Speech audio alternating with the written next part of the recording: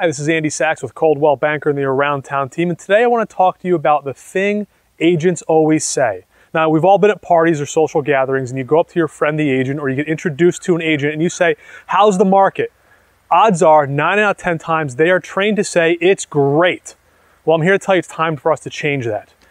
It's not always great out there. No matter what you say to that agent, they're going to say, No, no, Zillow's wrong, and what you read is wrong. The market's great, and let me tell you why.